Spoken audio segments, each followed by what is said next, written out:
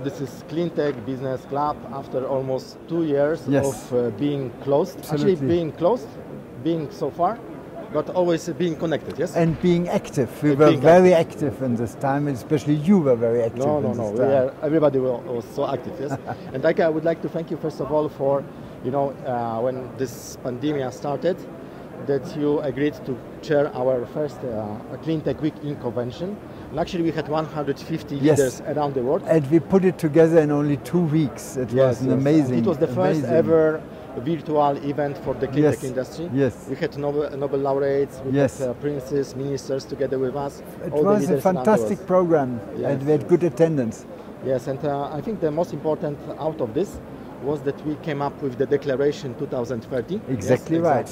In which uh, we united and joined forces in order to change the world by 2030 because Yeah. we think that this is the actually possible date, yes, to make And as a matter of fact, you know, this is the acceleration of what was up to then. Up to then, everybody talked about 2050 to get decarbonized, but now our new results show, and the IPCC has uh, reported this, we need to really change the world by 2030, 2035, the latest. So our declaration really gave this a big push. So, so we are for 2030 and eventually some margin, you know, Yes. we can do. Yes, But but, we the goal is 30. We need to start acting now, and I think we observe it everywhere. Just look at the results of the last elections in Germany. In Germany, we will have soon a government which includes the Green Party, and in France, President Macron is as well very, very well aware of it. Uh, in, in Brussels, we have von der Leyen, the President of the Commission, the Green New Deal. In the United States, with President Biden, things are moving. John Kerry takes care for this issue. So we really feel the global wave is starting now. Asia, Africa, yes. And Absolutely. What, what is great that in our club we have people from over 30 countries, and uh, next year we would like to have at least 100 countries involved. Yeah, and our club stands for the fact that this disruptive transformation to renewable CO2 free energy is not just a burden, actually, it's not a burden at all. It's accelerator. is a big opportunity and accelerator. Right now in Germany, we are complaining about increasing energy prices. Why are energy prices increasing?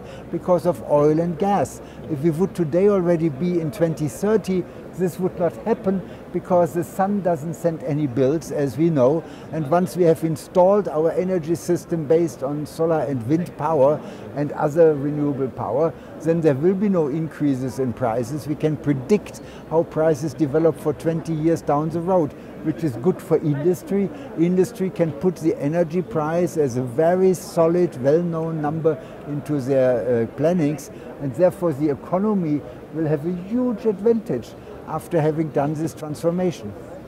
Another thing uh, which was also very important, so we noticed uh, during our e-convention that the world will not be like it was in the past, and we built our club 2.0. Yes, Exactly. so we'll have now a live platform, but also virtual platform which will serve us 24/7 uh, to even better, you know, uh, transfer our ideas and also to help uh, to grow the business. Yes, because at the end of the day we need business, meaningfulness, but also we need joy. Yeah? So Yes. hopefully yesterday Yes. we had first time joy. Yes. Our dinners, our Yes. meetings uh, together. Our uh, together we are stronger meetings uh, here at Ines actually. And uh, thank you so much, Anis and uh, Ines team. Yes, and we don't forget the wonderful gala dinners in the past, and I'm looking forward for the next one, maybe in Abu Dhabi in, Abu Dhabi, yes, January. In January, and especially that it will be joined together with the ceremony for World Cleantech Awards. And uh, also, Eicke, thank you so much, uh, officially, yes, Of course. for becoming chair of this of these awards. And uh, what is great that in the past it was Solar Future Today Awards that we are giving to the visionary individuals who are impacted actually this you know solar boom. And now as we are Cleantech Business Club, we are recognizing all cleantech, yes? Yes. And also in the past it was for the individuals, but now we decided that we would like to also award the companies well established, yes, Yes. which are paving, you know, this uh, way for the disruption. Exactly. this The decade. icebreakers. Yes, and also for the startups, yes, Yes. because, because as we discussed with Eicke, also we created this idea of cleantech startup hub that we will be discussing later with Anis. Yes. But uh, Eicke was one of the Professor Weber was one of the initiators also, also of this idea because actually the disruption and this clean tech decade will be driven by the new disruptive technologies, yes? And that's exactly. why uh, the big role of startups will be here, yes? And technologies combined with networking because exactly. networking is so important for any business to flourish you know you need to know the right people in finance in technology innovative people who uh, bring in new technologies and this is what our platform can bring exactly. together and what is interesting also that we invented actually H2H. Big thanks to Michael Bermer, who was one of the guys who brought this idea, and uh, now thanks to uh, Dave Renné, yes, Absolutely. former president of ISES, because he brought idea, Thomas, we are actually blockchain, yes. human blockchain. So instead of uh, being connected uh, virtually, uh, we are connected through our DNA. Yes? yes? And everybody who is in our club, all the companies who are joining, all the partners, like uh, Kurt, who is now uh, our partner for the media in Germany, who is filming this, this interview, uh, we are connected through our DNA. Yes. Absolutely, and as a matter, it turns out that we have a lot of joint DNA to share. Yes, exactly. And also, we would like to invite everybody, you know, with the positive DNA who shares uh, the vision of the club to join us. And now, just uh, a little bit about our uh, future initiatives. So, first is uh, World Cleantech Awards. So, as I was mentioning, we will have the first ceremony in uh, January, but the official launch will be on the first ever Cleantech Forum together with ISES, International Solar Energy Society. The forum will be held at Solar World Congress. It's a virtual congress and I'm uh, very pleased I serve as the uh, scientific chairman of this congress. It's organized by ISES, the World Solar Energy Society, and uh, we decided because of Corona we have to make it an all virtual congress. But with the experience that we have from the Cleantech Business Club from last year, it should be a very successful event. And I'm very happy because uh, this will be for the first time when together with ISES uh, we organize the forum between science, industry and finance. Yes? yes. And we'll be discuss about the joint roadmap, you see, in order to scale up together. Yes, exactly, because only the combination of science, industry and finance allows really to go as quickly as we need to have a chance to avoid the catastrophic climate disaster which would come if we are not quick enough. And also, as we always say, together we are stronger. Together we are really the strongest and I think we have to be aware that there are retarding forces from the old fossil industry and our industry is not yet as big and powerful as the old fossil industry. Think about companies like Exxon, Shell and so forth. But because we are a network, we are together as strong, and this is really what we have to be. Exactly.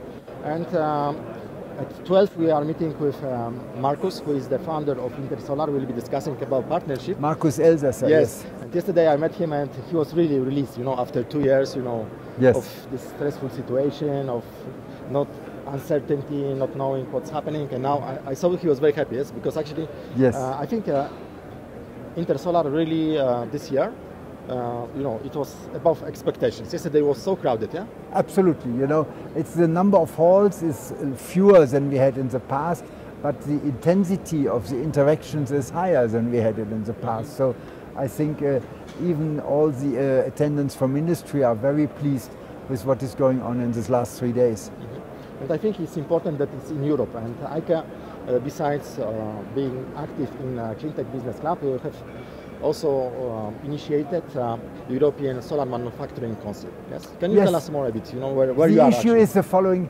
we all know that solar energy will be one of the two big pillars of the future energy world, being carried by wind energy and solar energy.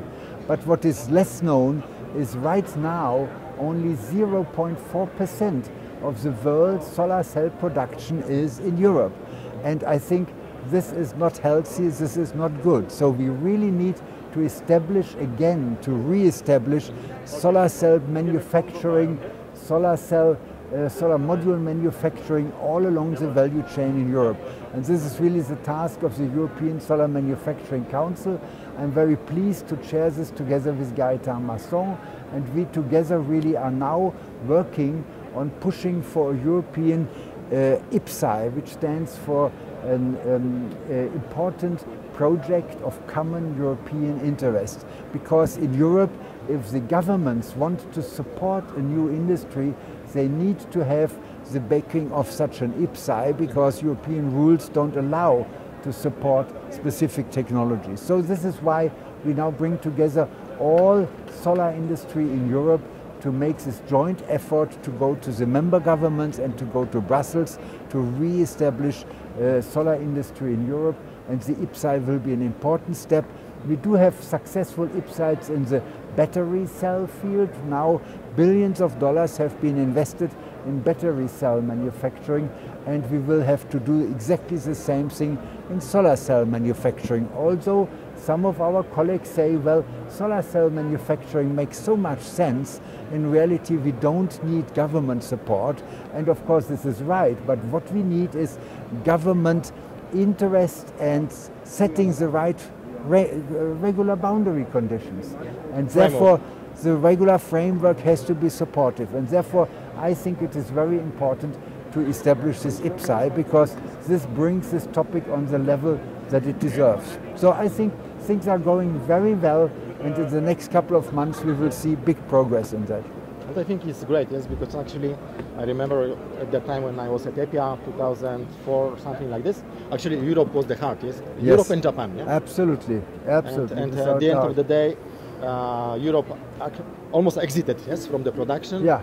And now I think it's so important to have also the production in Europe. Yes. I mean, the reason was simply that Japan, uh, the Chinese government, was smart enough to uh, grant credit 40 guarantees. Billion, uh, 40 billion program. Yeah, credit guarantees. Whereas in Europe, there was no support for the solar industry whatsoever. So it was not a miracle that suddenly China got number one. It was really that the Chinese government, better than the European governments, recognized the relevance, the strategic relevance for the future energy system. So I think we have to give credit for this to the Chinese government of 2008 because they really put this on the right track we in Europe are now running behind 10 years later, but it's absolutely essential that we really establish PV production in Europe along the full value chain. Okay, I guess. So I think uh, that uh, this was that.